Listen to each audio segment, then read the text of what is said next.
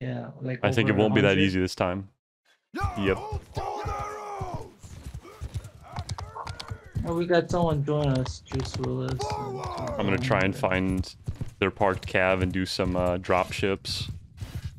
Dismount in Yes, their I sir. face. don't know if they, you think they're gonna even park cav? Could that that? I mean, it's like a 50-50 chance if they do it. So all I know is if I dismount on them, they're gonna be in trouble. Alright.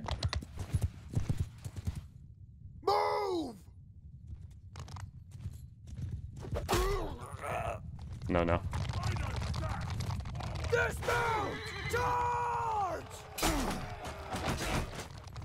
I did it. I dismounted it in his face. Oh, they're Oh, no. separate. Oh, nice. They're, they're Separate. Okay, that's hilarious. Dude, I So baited they them got a into coming here. C, and they got some at uh, B. Let's get the ones at B. All right. That's hilarious. I got naked rival to shoot at though. Let's see. No, no, don't worry about it.